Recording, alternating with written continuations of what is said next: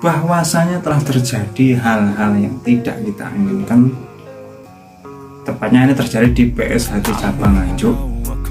Pas bulan puasa pas bagi-bagi takjil tiba-tiba datang oknum-oknum yang tidak bertanggung jawab melakukan hal-hal yang tidak kita inginkan. Pas bulan puasa pas bagi-bagi takjil.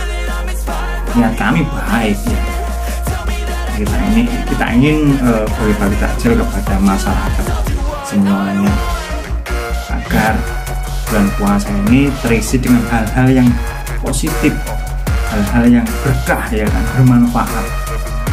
Tapi tiba-tiba datang yang tidak bertanggung jawab melakukan hal-hal yang tidak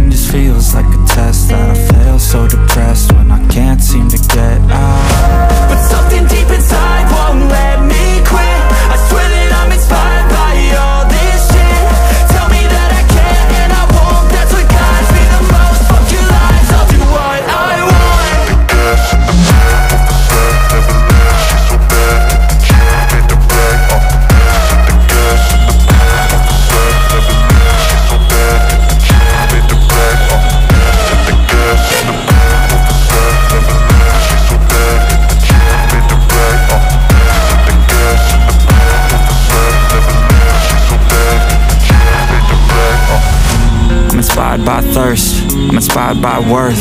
I desire your worst, so you can just hide while I work. I ain't tired masalah ini secepatnya teratasi. Tidak berlarut seterusnya ya kan? Dan semoga pihak aparat kepolisian segera menyelesaikan masalah ini.